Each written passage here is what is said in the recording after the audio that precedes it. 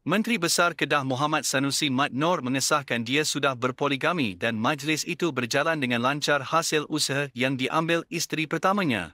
Menceritakan pernikahan itu, Sanusi berkata semuanya berjalan dengan baik dan proses tersebut bermula beberapa bulan sebelum ini melalui inisiatif Jus Mala Ilani Juso.